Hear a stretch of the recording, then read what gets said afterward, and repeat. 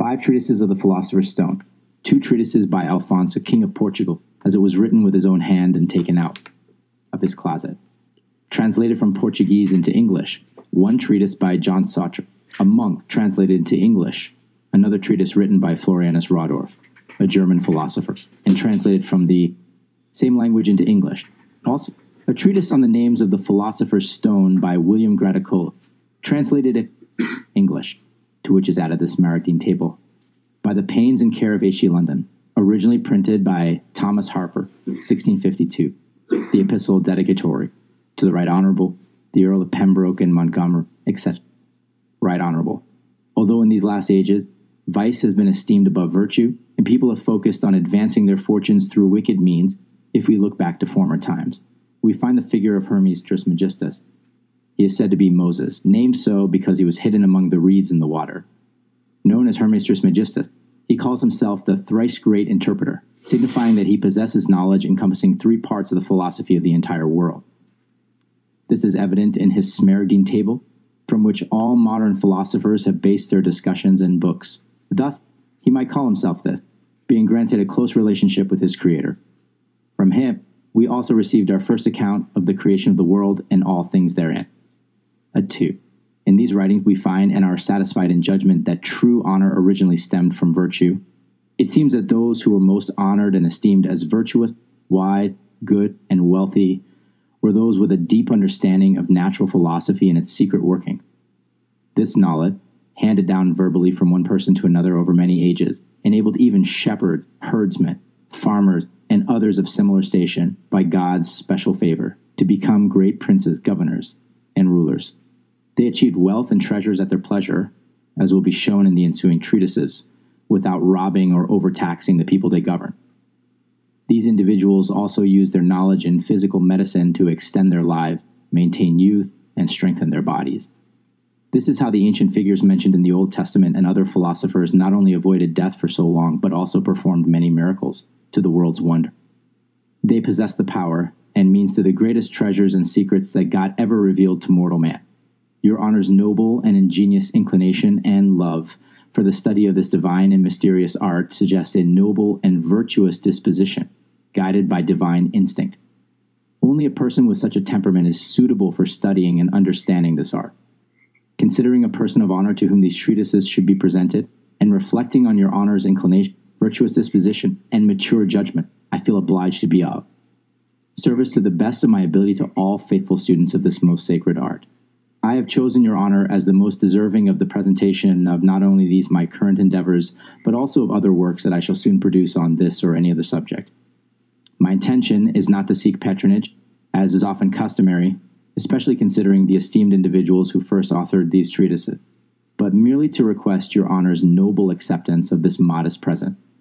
This gift comes from someone who sincerely wishes your honor all forms of happiness, both physical and spiritual, temporal and eternal with this wish, I remain, my lord, your honors, most faithful servant, eight are to the reader. Hermes, revered as the father of philosophers, plainly disclosed the substance necessary for the philosopher's stone, but not the complete method for its creation. He claimed his understanding of it was a result of divine mercy and favor, acquired without any mortal's guidance or teaching. He felt compelled to document this knowledge for future generations, fearing spiritual condemnation if he did not. Since then, hundreds of philosophers have written about this science, considered the most profound and greatest secret ever revealed by God to humans. However, their writings are so cryptic that it's nearly impossible for anyone to grasp this profound and mysterious art unless they are deeply pious, religious, and committed to a serious, secluded life, devoid of worldly distractions. A person with such devotion, undoubtedly, through God's mercy and with the aid of the authors mentioned here, along with some recent works and unpublished hieroglyphics soon to be printed by the publisher in Little Britain, London, can attain a comprehensive understanding of the Philosopher's Stone. These resources provide a clearer and more complete demonstration of the entire process than any other books in the world. Therefore, with the help of these writings and hieroglyphics, one can master this art with much greater ease and less difficulty than would otherwise be possible. In summary, the passage emphasizes the importance of divine grace, piety, and dedication to a life of contemplation for understanding the philosopher's stone, a central concept in alchemy. It suggests that recent and forthcoming publications, including hieroglyphics, will significantly aid in comprehending this elusive art. I have only provided a selection for use until others, which will soon be available, are published. It's important to note that few ancient philosophers wrote exhaustively about this elusive science. What one author might omit, another might include, so it's beneficial to read many of the best authors on the subject. As a longtime student of this art and convinced of its truth after studying numerous renowned authors, I felt it important for the benefit of faithful students of this art to publish these works. I was greatly encouraged to do so by some of my closest friends. This is also to prevent students of this art from being misled by false philosophers and from working on false materials like salts, alum, vitriol, metal, mineral, and the like. Consider the words of George Ripley, an English monk, who stated that the matter of this work, according to all ancient philosophers, is just one thing, containing all that is necessary for its own perfection.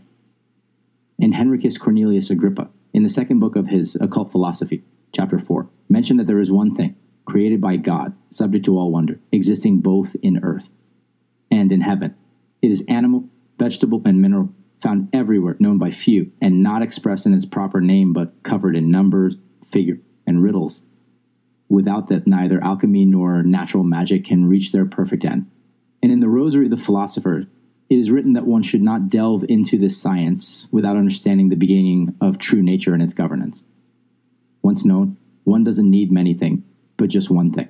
It doesn't require great expenses, as the stone, the medicine, the vessel, the perfection, the governance, and the disposition are all one. Let this suffice. From your faithful but unknown friend, H.P., the Emerald Tablet of Hermes Trismegistus of Alchemy. The greatest of the secrets of Hermes, which were written on an emerald tablet found between his hands in a hidden vault where his body lay buried. It is true, without falsehood, certain and most true, that what is below is like that which is above, and what is above is like that which is below. To perform the miracles of one thing, and as all things have come from one, through the mediation of one, so all things have arisen from this one thing by adaptation. Its father is the sun, its mother the moon. The wind carried it in its belly, the earth is its nurse. The father of all the perfection of this world is here, its force and power are perfect if it is converted into earth. You shall separate the earth from the fire, the subtle from the dense, gently and with great ingenuity. It ascends from the earth to the heavens and again descends to the earth, receiving the power of the superiors and the inferiors. Thus, you will have the glory of the whole world, and all darkness will flee from you. This is the strong force of all forces, overcoming every subtle thing and penetrating every solid thing. Thus was the world created. From this come many wondrous adaptations, of which this is the mean. Therefore, I am called Hermes Trismegistus, having the three parts of the philosophy of the whole world. What I have said about the operation of the sun is complete. Here ends the tablet of Hermes, a treatise written by Alfonso, King of Portugal, concerning the Philosopher's Stone, chapter 1.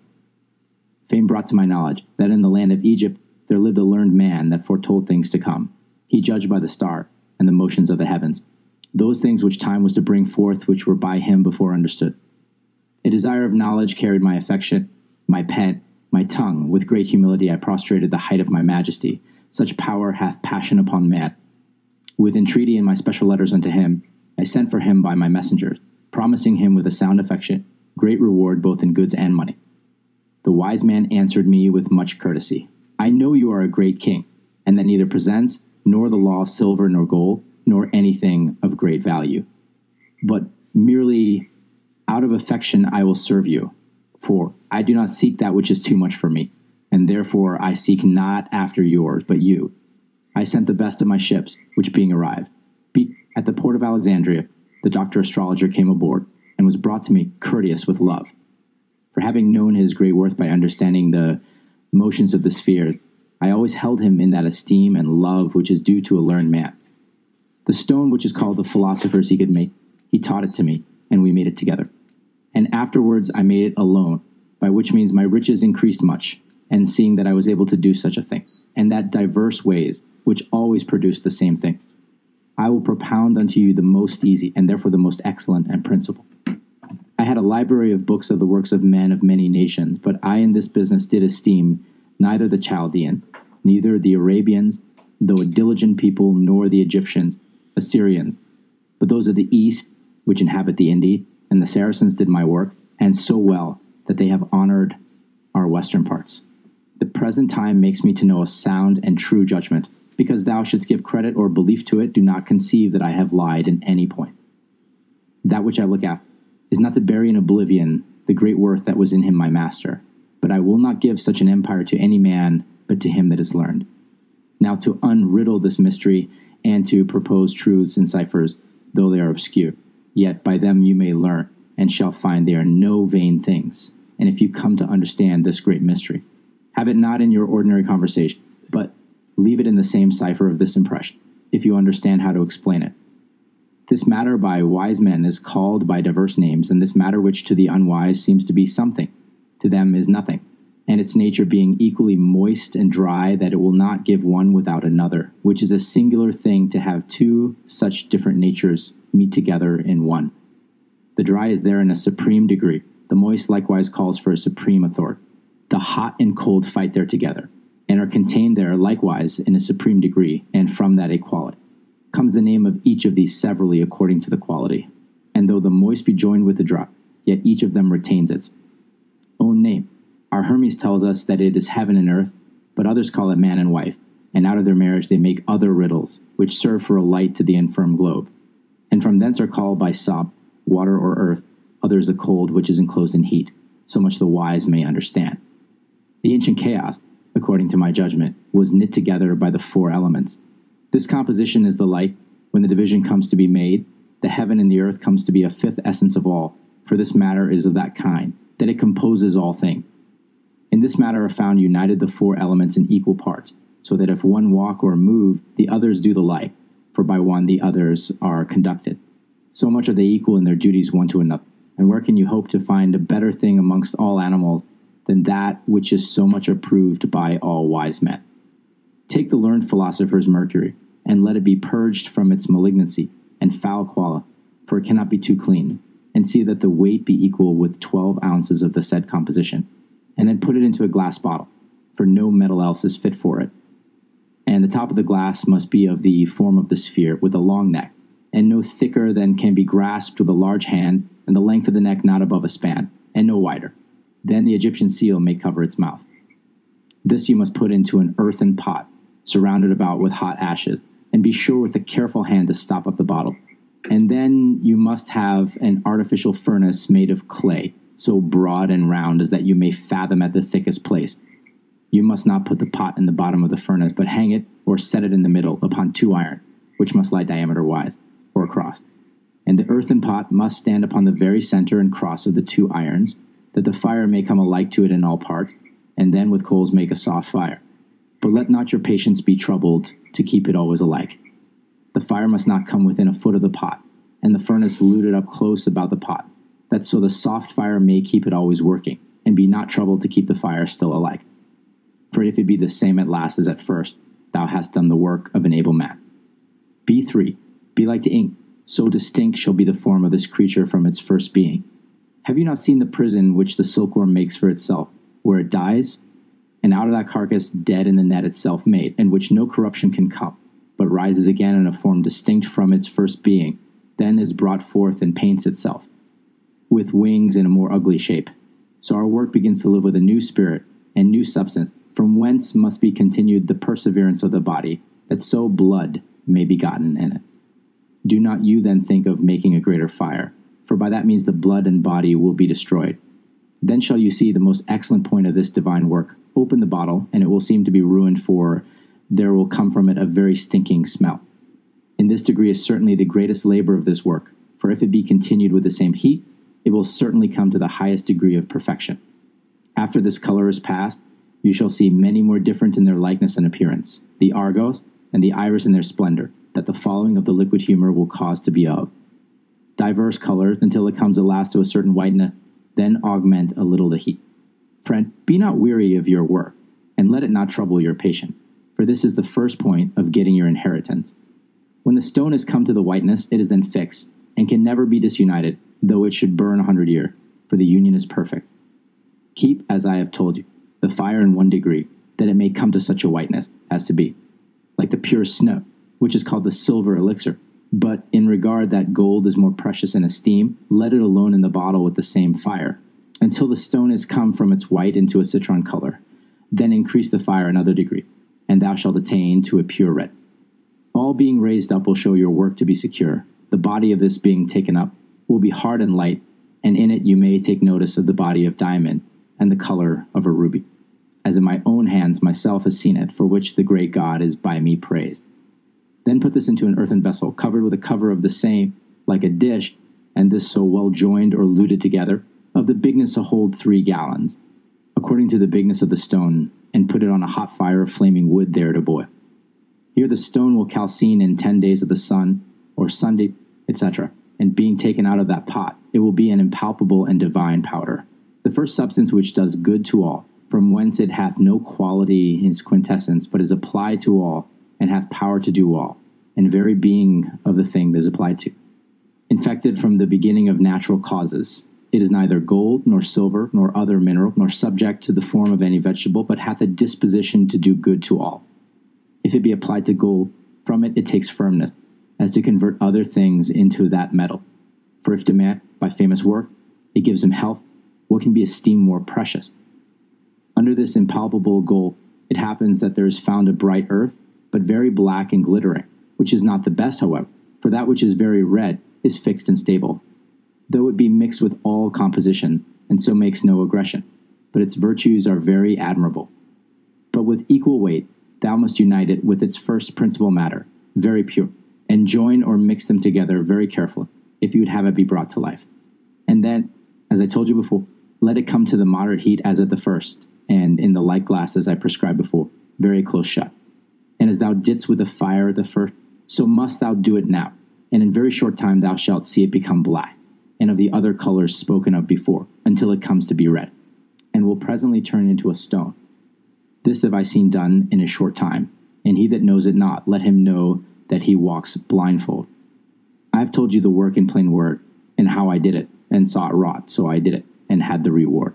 And it is no fallacy, seeing that I am a witness to it, for which I praise and bless God which gave me sufficient of knowledge, science, riches, honor, and state, which let me never forget.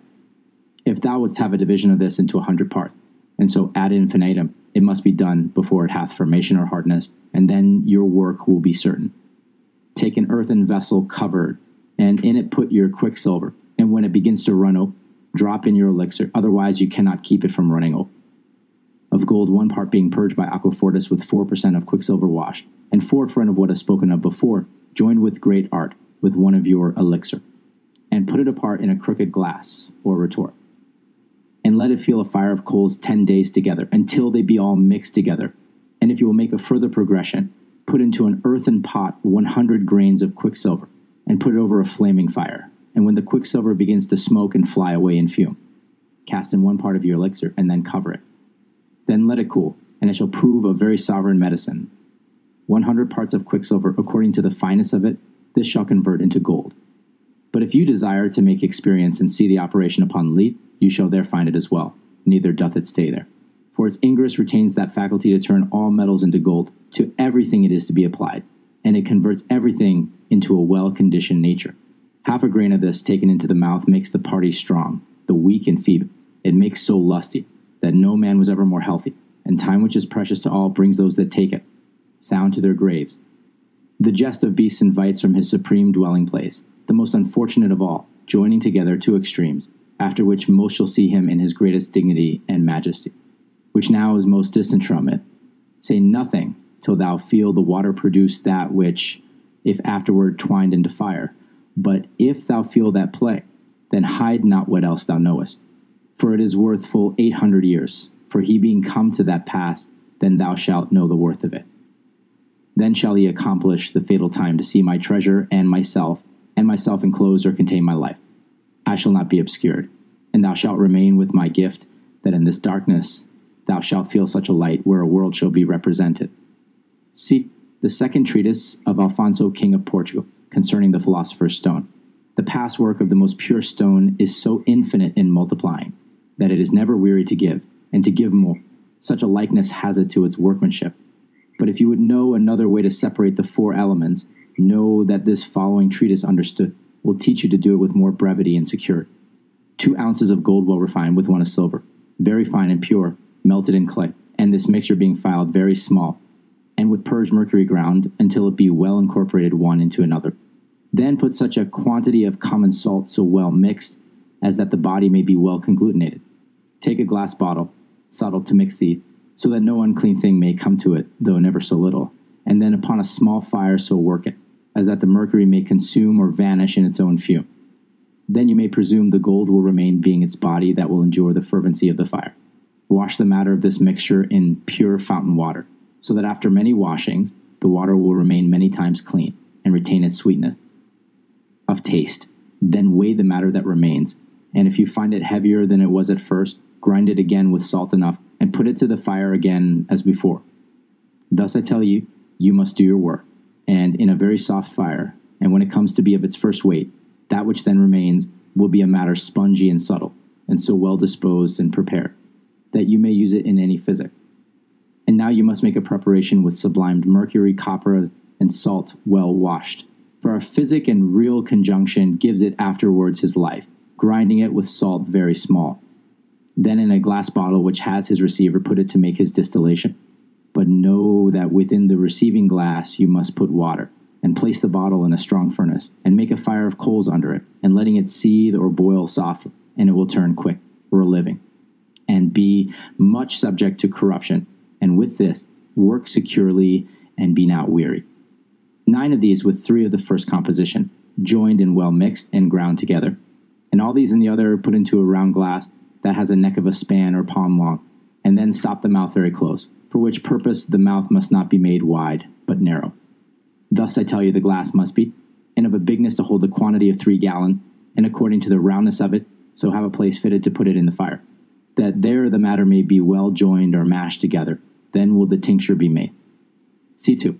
Forty gallons, then shalt thou see the east adorned with the beams of the sun, when this work shall be accomplished according to desire, to change the present glade into another, which serves for the receiver of a still, which being close luted with lutum sapientiae and hot water, which it must not touch. The fire must not be of any great heat, but moderate, that it may work its effect, distilling its water in a perfect manner, and then do the same work over again. Join the matter with great wisdom. With this is distilled water, join mercury, of an equal weight with the first matter. Note my words which I will tell thee, that now thou shalt come to putrefy it, and after 40 days, put it into the still, keeping the same order as before for the glass and the fire. Take this distilled water, and in the place where it falls, put in an equal weight of the first matter as aforesaid. Do this work as at the first, for it must be thrice reiterated from time to time, receiving the water that the fire will give to the very last. Think not the time light, and though you pass the forty days and more, yet still keep the water in a glass bottle. Change it from the receiving glass into another, and put it upon hot ashes, and then thou shalt have or draw out a lighter element in weight, called air, which you must subtly put into a bottle. And stop the mouth of it very close with Hermes seal in its neck also. Be careful that you let not forth the air.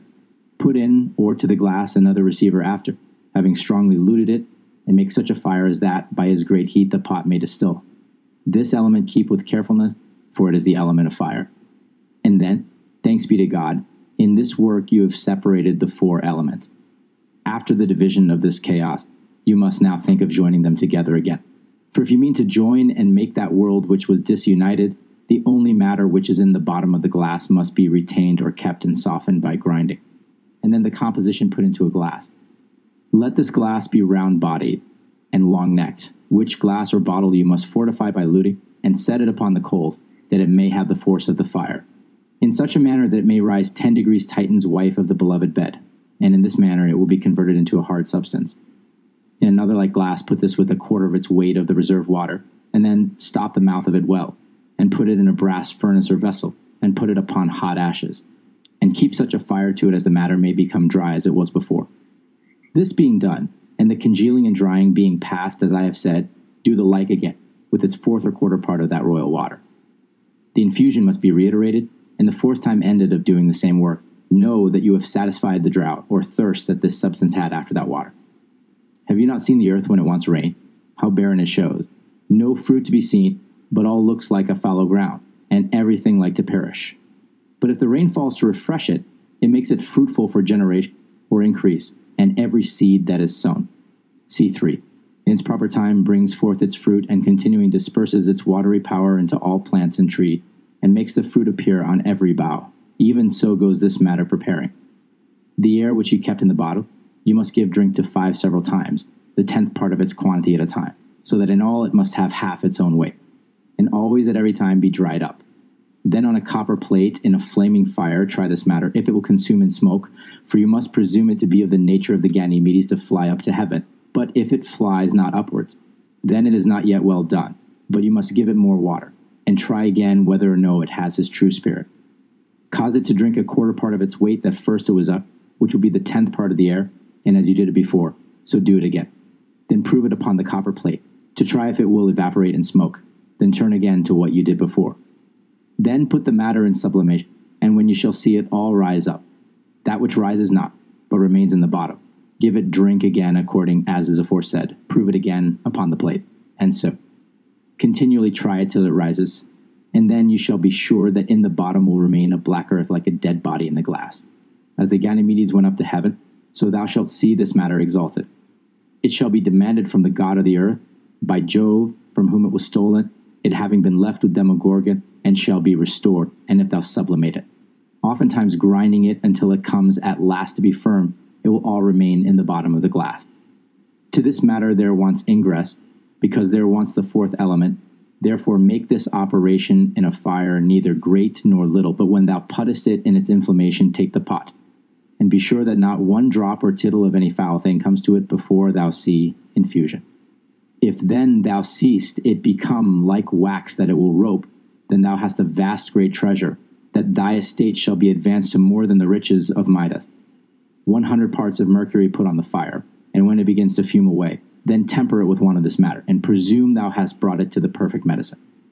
And if another time thou doest the same work, one part of this applied to a hundred percent will turn likewise to the second medicine, and one part of this is a great reward, being applied to a hundred parts of mercury hot, or any other metal being melted, making it become gold most high and sublime for which the Lord be praised. Venus, the book of John Sawtre, a monk, concerning the philosopher's stone. All things consisting of natural bodies, as well perfect as imperfect, in the beginning of creation were compounded and made of four natures, and those four natures be the four elements, viz. Fire, air, water, and earth, the which God omnipotent did congelate, mingle, and married together in his massive poise. For in these four elements is the privity hid of philosophers, and when their natures becoming and reduced together into one. Then they are made another thing, whereupon it appeareth that all things universal and variable be of the four elements, engendered naturally and changed together. Whereupon Rhasis saith, simple generation and natural permutation is the operation of the elements. But it is necessary that elements be of one kind and not diverse, for otherwise they have not action and passion together. For as Aristotle saith, there is no true generation, but of such as be convenient and agreeing amongst themselves. Therefore, do not search that thing of nature that is not of nature, or things not according to their nature.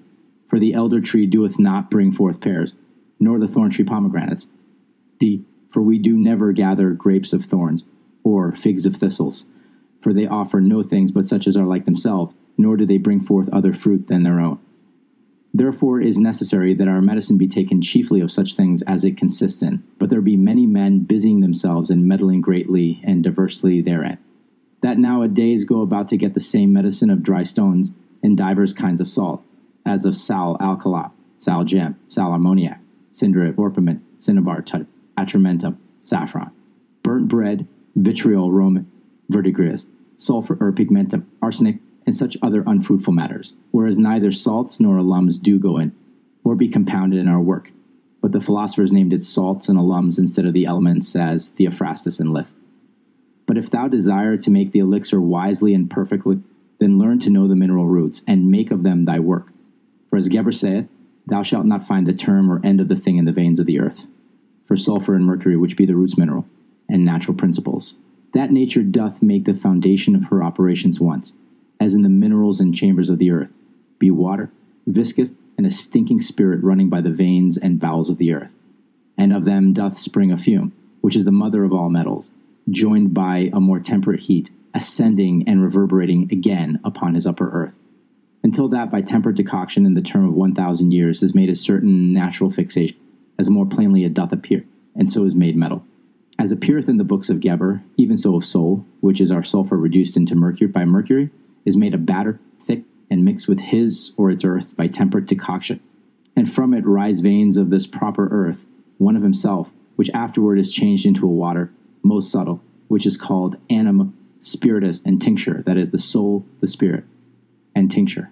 And when the same water is reduced upon the earth from whence it came, and sprinkled upon his own veins, it comes into a certain fixation, and is made the elixir complete. And so art doth work in a short time the whole manner, more than nature doth work in a thousand years. But yet we do not make metal, but nature doth make it. We do not change metals, but nature doth change them. But we be nature's help or ministers. Whereupon Merlin in Turba Philosophorum saith, that although our stone being perfectly created in the earth, doth naturally contain in itself a tincture, yet by himself. He hath no motion to move to be elixir, unless thereto he be moved by art. Therefore let us choose the natural and next mineral according to the words of Aristotle. For nature hath procreated all metallic bodies of a fume, sulfur and mercury, wherein thou shalt find no philosopher disagreeing. Therefore it behooves thee to know the principles of this art, and the principal root thereof. For he that doth not know the right beginning shall never find the right end thereof.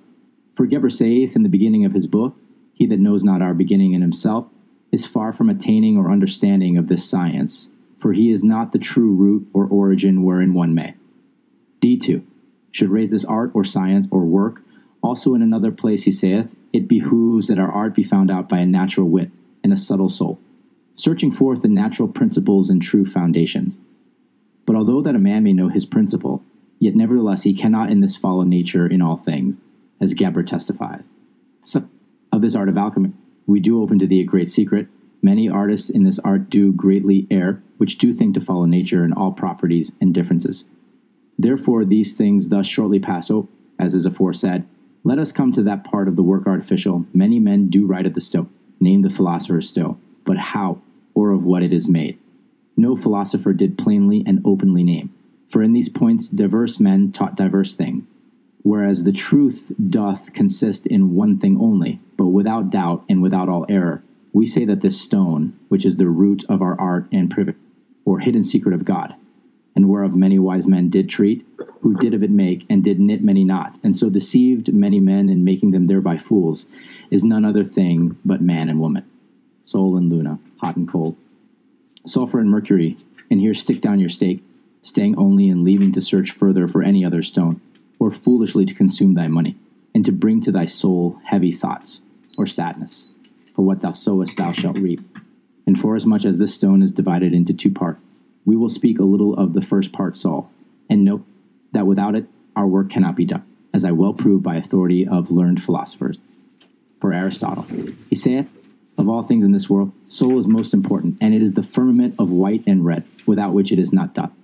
Also, Avicenna saith, There is no true tincture but of our brass, that is to say, soul, for all soul is brass, but all brass is not soul, so all soul is sulfur, but contrary for in it is nothing of the corruption of sulfur, but when it is made white in the work, then it worketh the operation of white sulfur, congealing and converting mercury into soul. Of the color named auripigmentum in Latin, therefore use always the nobler mem, that is to say, soul, for it is the kind of kinds and form of forms. For it is the first and last in metals, and it is amongst them in their natures, as the sun is amongst the stars. But it doth concern thee to understand well how to choose in what noble member water, or a thing homogeneous to both the lights and the world that is to say, soul, for soul is homogeneous, and the spirit hid and covered in that noble member, without which the work is not done. Wherefore Rhasis saith, Do not color it until his hid spirit be drawn out and made all spiritual, and therefore work thou nothing but that which is very light and of the most pure soul, which doth illuminate and lighten all lights, and casteth away all darkness of the night by his power biz. The superfluity of mercury and other imperfect bodies when that it is cast upon them. Wherefore Geber saith in the chapter of the quintessence and projection of the stone, this sulfur, lightning and casting forth his beams, and shining abroad of his most clear substance, doth irradiate and giveth light not only in the day. D3.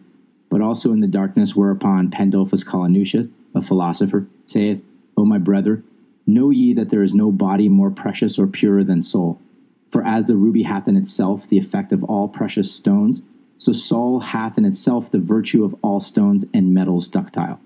For it contains in itself all metal, and colors and quickens them, when he is most noble of them and of all bodies, and the head and the best of them. And consider this one point. That soul is equal in the qualities and parts of it, and it is of a complete nature of the four elements, without any excess or defect. For by nature it hath part of heat, and part of coldness, part of dryness, and part of humidity. For it is not corrupted, nor corruptible by the air, nor by the water, nor by the infection of the earth, or by the force or violence of the fire. Yet it mollifies, reddens, and adorns it, because his complexion is temperate, and his nature direct and equal. Therefore that stone is best of all stones, that is most compact and nearest, or most akin to the fire. The second part of our stone is called Mercury, which is himself, and of the philosophers is called a stone, and yet is no stone. Whereupon a certain wise man, whereas he speaketh of it, saith, This is a stone, and yet no stone, without which nature doth never work anything, which both doth and drinks up the work. And of it doth appear every color, whose name is Mercury or Argent vive. Whereupon Rhasis saith of it, A work may be created so that the same work may overcome all natures. It is friendly to all metals, and the means to join tincture. In itself it receives that which is of its nature, and doth vomit forth again that which is strange, or enemy to its nature, for it is in uniform substance in all its part.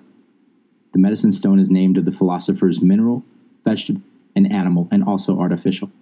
It is called mineral because it is engendered in the mind, and is mother of all metals, or else it is called mineral because when there is projection made upon it, it is turned into metal, and it is called vegetable. For of the juice of three herbs mixed together in equal proportions, that they stand in a moist fire forty days, there will be grown forth thereof a stone of the same color and virtue of the mineral. For the herbs be mercury purslane, called portulaca, or may which yieldeth milk, and celandine. Is also called animal or vital because of himself without any other thing put into it, his elements being separated and united together in equal weight. And then set in a strong glass with a little hole to take air in the aforesaid fire. Within three months there will engender horrible worms, whereof every one will slay one another until that one only will remain, which, if the master feed wisely, it will grow and wax to the bigness of a toad, whose form is terrible. And this beast is by himself elixir upon Saturn and Jupiter, or it is called animal because it is made of a thing that hath life. That is to say, man. For in old hedges it is found of the putrefaction of man's dung, inordinately heated with a subtle vessel of glass.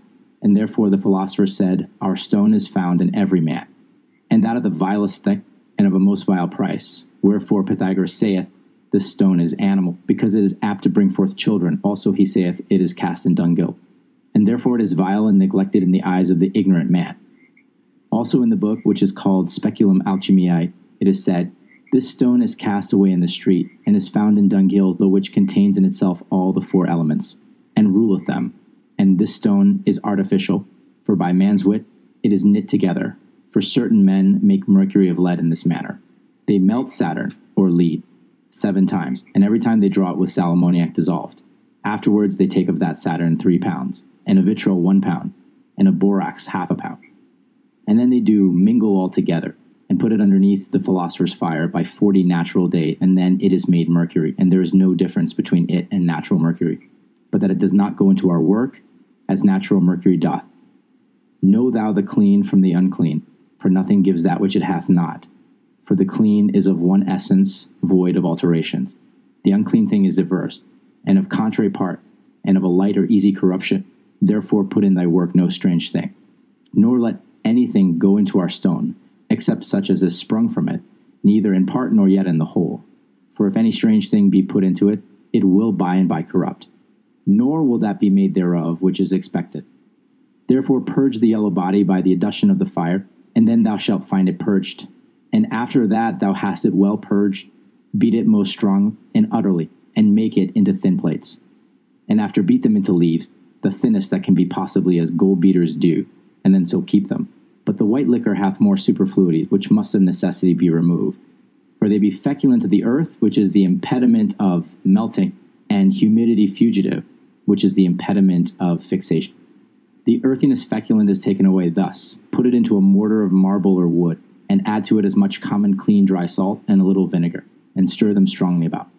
and rub it very strongly with the pestle of wood wisely, that there do appear nothing of the liquor, and that all the salt be all black, then wash all the matter with clean hot water, until the salt be resolved into water, and then pour the same foul water away, and then put it to the liquor of salt and vinegar, as thou didst before, and do this oftentimes, until the liquor be made as clean and shining as glass, or of the color of heaven.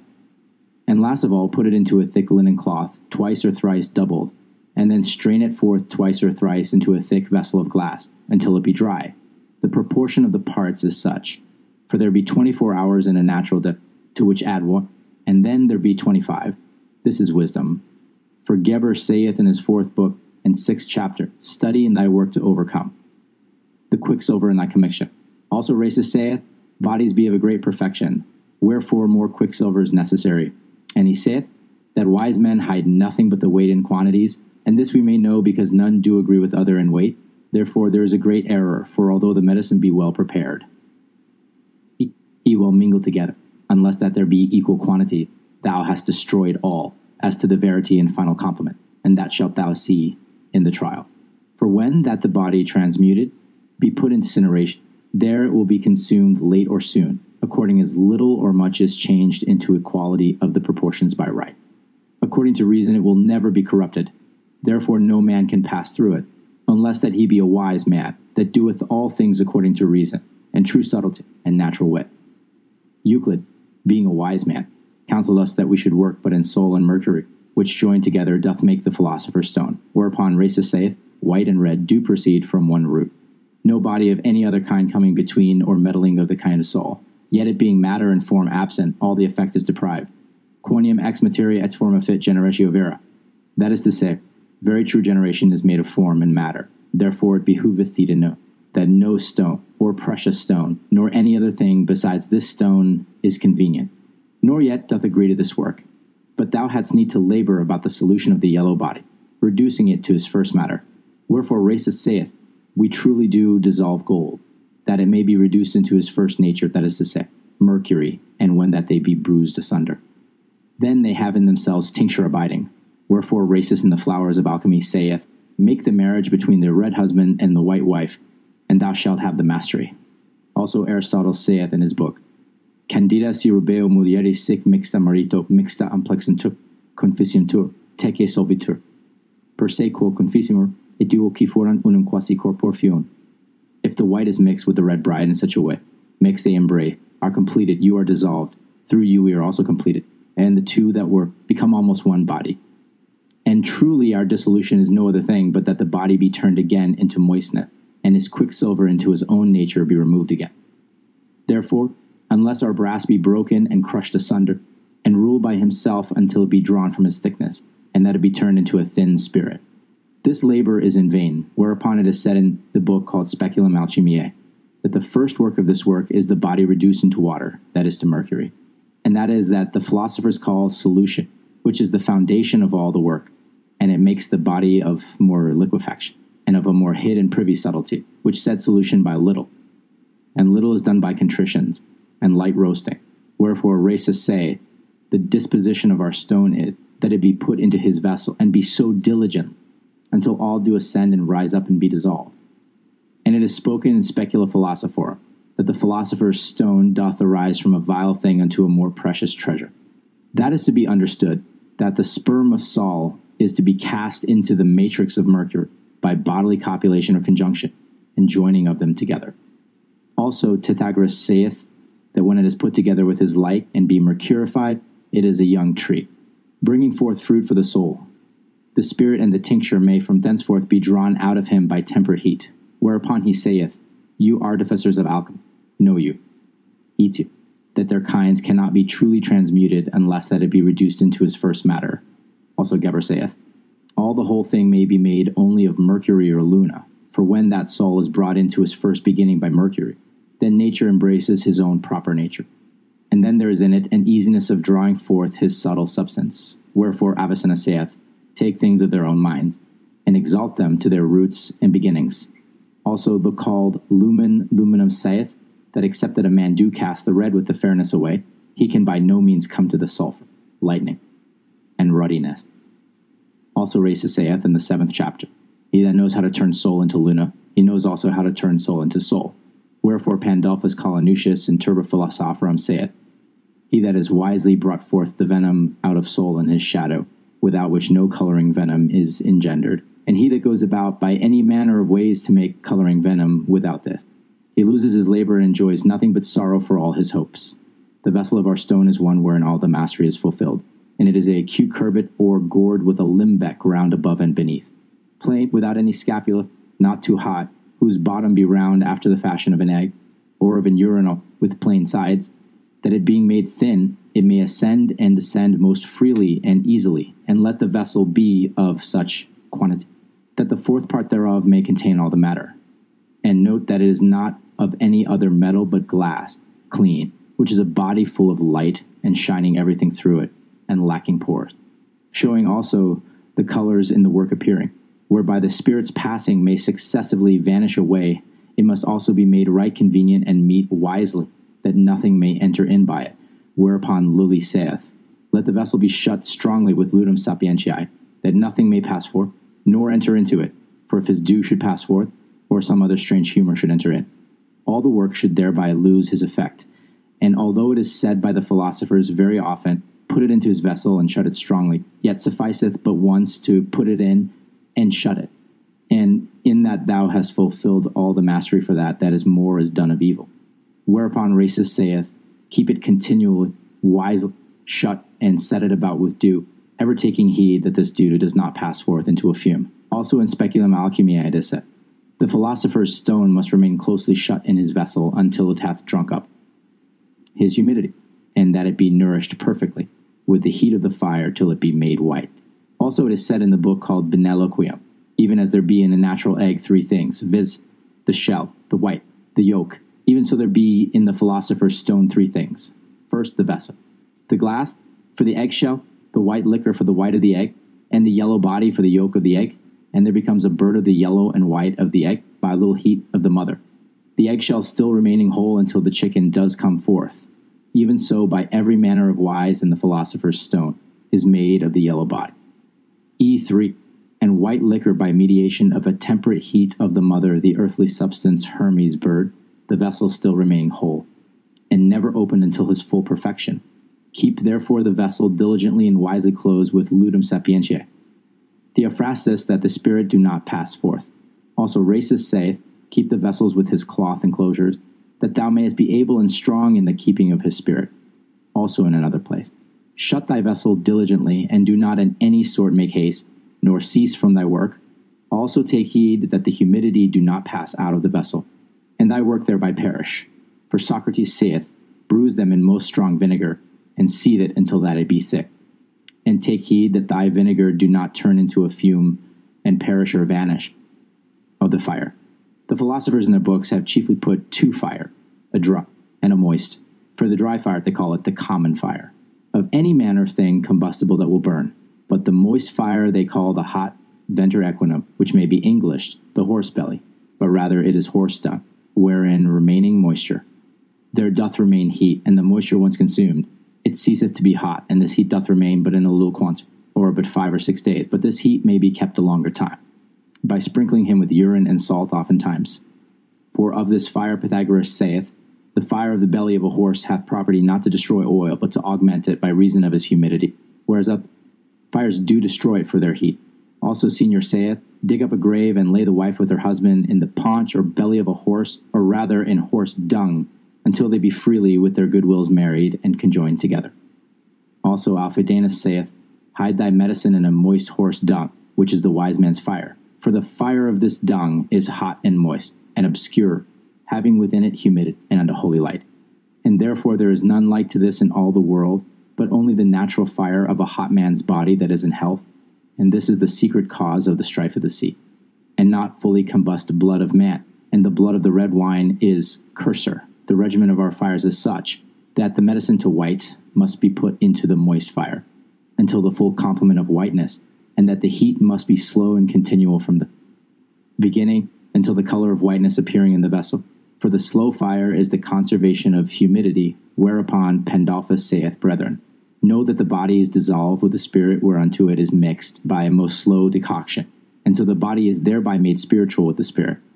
Also Astava saith, The slow fire doth send forth the spirits of life, the excessive fire doth not make equal the elements, but rather it wasteth the humidity and destroyeth all things. Therefore Rhasis saith in his high work, Take heed in thy sublimation and liquefaction, lest that when you set your fire on fire, the water also do ascend to the top of the vessel, for if it be so, then it being cold it will stick there, and so thou canst not make thy sulfur, nor open thy element, because it is necessary that every one of them in their spheric or spiritual motion be very often thrust down and lifted up, for only the temperate fire is inspective and preservative of mixture. Therefore, Alphidanius saith, a slow fire, which is called a clear fire, is the greatest cause of true operation in the elements. Also, Rhasis saith, it is our light fire, as an egg that is nourished, until the body be derived, and the tincture drawn forth. For by light decoction the fire congeals the water, and draws forth the humidity of the corruptive part, and the combustion of dryness is prevented. Also, all the benefit of this work is in the temperateness of the fire. Therefore, always take heed of a greater fire, that thou come not before thy time to solution, for that bringeth to desperation. Wherefore Rhasis saith, Take heed of the intention of the fire, for if it be set on fire before the time, then it is made red before the due time, which doth not profit. And that he may show thee the time of decoction, he saith, the solution of the body. And the congelation of the spirit must needs be made with light decoction of the fire, and with moist putrefaction in forty days. Also hear Hortulanus saying, Know ye that in mingling them together, it behoveth you to mingle the crude, quick, sincere, and right elements together upon a soft fire, and to take heed of the intention of the fire, until the elements be joined together. Bonella saith also, By a temperate heat the body is made sweet and convenient. Be of a constant mind in thy work, and do not labor in or upon diverse matters or things, proving sometimes this matter, and sometimes another. For in the multitude or diversity of things thy art consists not, nor is finished, for there is but one subject or medicine, one vessel, one regiment, and one disposition thereof. For all the matter doth begin in one manner of fashion, and endeth in one manner of mansion. Yet the philosophers did put many works and crafts thereof for the honor and hiding. And prolonging of this art, as to seethe, to mingle together, to roast, to sublime, to grind, to break, or beat asunder, to congeal, to adequate, or make even inquality, to putrefy, to make white, to make red, of which things yet there is but one regiment, which is but to decoct only. Therefore crush it asunder, and see still that thou be not weary. Also Rhasis saith, Seethe without intermission. Do not hast or cease at any time from thy work, nor go about to practice or use the sophistical bounds of thy works, but only intend to the complement of this work. Also Rhasis saith, It is most sure for thee to apply thy work diligently, nor do thou leave off thy work, being as it were a tree cut down from the bough. Be thou therefore steadfast, and of a long continual mind and will in the regimen. Shut most close thy vessel, and cease at no time, for there is no generation of things but by a continual motion, exclusion of air, and heat temperate. Study and mark also, when that you are in your work, all the signs that shall appear in every decoction, and remember them, for they be necessary for the workman, to the complement and fulfilling of this work. For it is necessary to continue the work and moderate the fire. Therefore, all these things dispose as aforesaid. Put the vessel with the medicine in the moist fire, so that half the vessel be in the fire, and the other half without, to this end, that every day may be looked upon. And within forty days, the upper part or outside of the medicine shall appear black like tar. And that is a sign that the yellow body is truly turned into mercury. Therefore, Alphidanius saith, Where that you do see blackness appear to that water, know ye that now the body is liquefied, and that truly is the same that Rhasis saith, The disposition of our stone is one, that it be put in his vessel, and that it be thoroughly sodden, until all do rise and ascend dissolved. Also in another place, continue upon him a temperate heat, until that it be dissolved into water impalpable, and that all the tincture do go forth into blackness, which is a sign of solution. Also Lully saith, When thou seest blackness inure to that water in all things, then know that the body is liquefied, for the philosophers do call this blackness the first merit. For that the man is joined to the woman, and it is a sign of a perfect medicine and mixture, but all the tincture is not drawn forth all at once. But it goes forth by little and little every day until that in a long time it be complete and finished, and that that is dissolved doth ever go up to the top. Although that which is remaining beneath be the more, whereupon Avicenna saith, that which is spiritual doth ascend up into the vessel. And that which is blackness doth conjoin together the spirit to the body, Wherefore, Anaxagoras saith, By the continuance of the fire in the regiment to the number of forty days. Both shall be made a water permanent, the blackness being covered, which said blackness, if it be governed as it ought to be, it doth not stay away above forty days of the color of blackness. Also Pythagoras saith, As long as the obscure blackness doth appear, the woman doth rule, which is the first strength of our stone. For unless that it be black, it cannot be white nor red. Also Avicenna in the chapter of humours saith, Heat and moisture doth first make blackness, and his moisture endureth until the superfluity thereof be removed, and then it becometh white. Also in our works, first they be made black, secondly white, and thirdly by a greater intention and composition of fire, it behoveth to be made yellow. Whereupon it is written in the book called Multifar, in the sixth chapter in the first detection, which is called putrefaction, when our stone is made black, that is to say, black earthy by the drawing forth of his moisture, wherein the whiteness is hid, and when the same whiteness is reversed upon his blackness, and is fixed with his earth by easy tossing. Then is made the white, in which whiteness the redness is hid, and when it is well sodded, by augmentation of the fire, the same earth is then turned into redness, as after it shall be taught. Now again, let us return to our black stone, being strongly closed in his vessel. Let it stand therefore continually in the moist fire until that the white color do appear like unto the manner of most white. F2. Salt, and this color, according to the philosophers, is called sal ammoniac, without which nothing can be made or is profitable in our work. And so the intensive whiteness appearing, the perfect marriage and copulation indissoluble of the stone is made. Then is that of Hermes fully fulfilled, saying, That which is above is as that which is beneath is. That which is above is to obtain miracles of one thing. But Pythagoras saith, When that you do see whiteness coming above, then be you sure that redness is hid in that whiteness. But before that the white do appear, many colors shall appear. Therefore Diodemus saith, Seed the man and vapor together until that both of them be congealed into dryness. For unless that it be made dry, diverse colors will not appear, for it is ever black. As long as moisture doth rule, and then it sendeth forth diverse colors. For in diverse manner and at diverse times it will be moved from color to color, until it comes to a firm whiteness. Also Zenon saith, all kinds of colors will appear in it until the black humidity be dried up. But of such colors take you no great care, for they be no true colors. For it shall very oftentimes be citrine, and very oftentimes redness will appease, and oftentimes it will be dry, and also liquid, before whiteness, but the spirit will never be fixed with the body. But with white color, Flavius saith, between the blackness and the white, there shall appear all color, even as many as can be named or thought of. From diversity of which colors, diverse men gave it diverse names, and almost innumerable names. For some did it on purpose to conceal and obscure the art, and some did it of envy. But in the chapter of the appearing of diverse colors in the medicine, there is a definition of his blackness. For whereas the blackness and the white be extreme color, and all other colors be mean colors, therefore as often soever as anything of the blackness doth descend, so often another color and another doth appear, until it be an extreme whiteness. But for descending and ascending Hermes saith, it ascends from the earth up to heaven, and descends again from the heaven to the earth, and receives the superior strength and the inferior strength. And note that if there appear between the black and the white any yellow color, care not for them, for they do not continue, nor are permanent. But they are slippery and passing away, for there can be no permanent nor perfect red, except that go before it.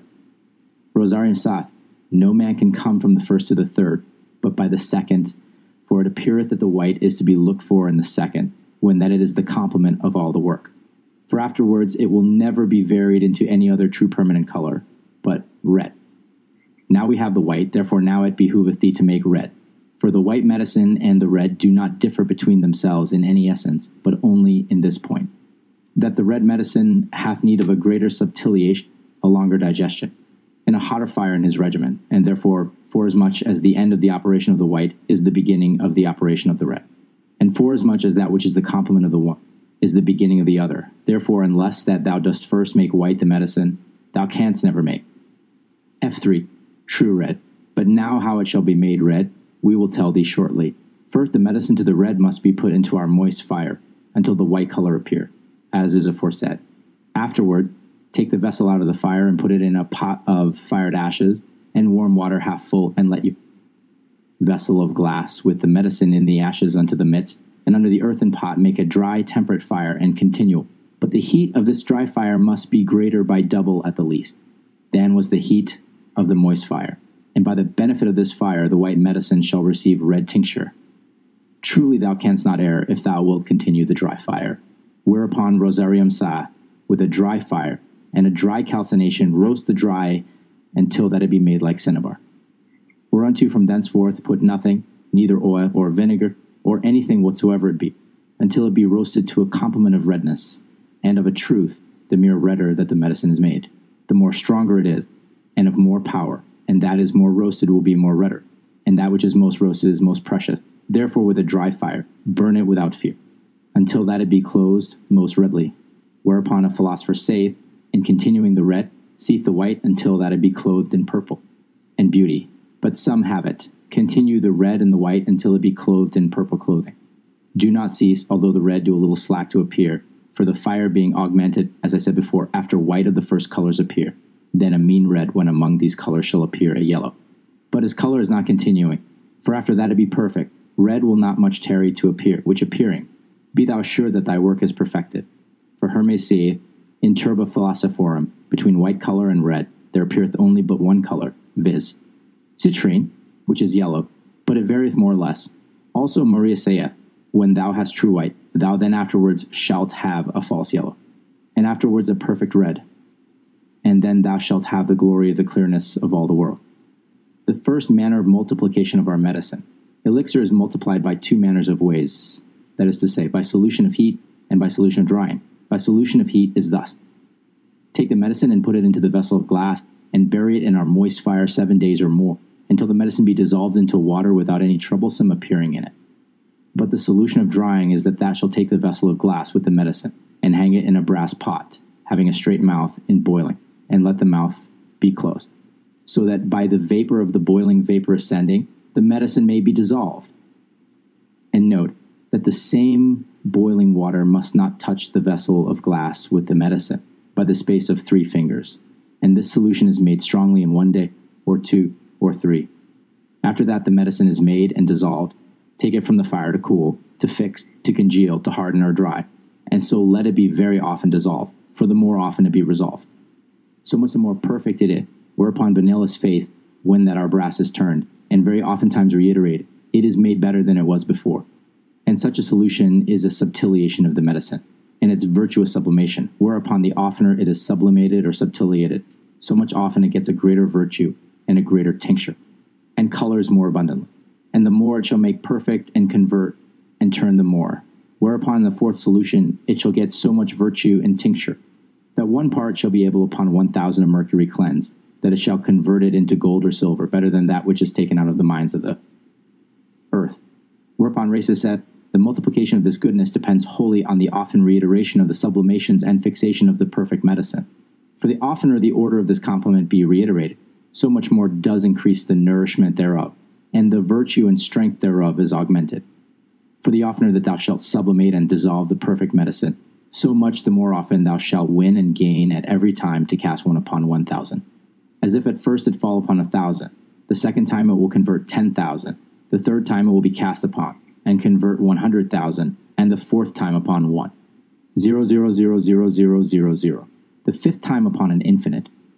For Merodach says, Know you for certainty that how much the more and often our stone is dissolved, so much the more the spirit and body are conjoined together. And of this, for every time the tincture is multiplied. The second way of multiplication is another way. The, the medicine is multiplied by fermentation, for the ferment to white is pure silver, and the ferment to red is pure gold. Therefore, cast one part of the medicine upon ten part, or twenty percent the ferment, and all such shall be medicine, and put it upon the fire in a vessel of glass, and shut it well, so that no air may enter nor pass forth, and let it be dissolved or sublimated so often as thou wilt, and as thou doest the first medicine. And one part of the second medicine shall receive as much as one part of the first medicine.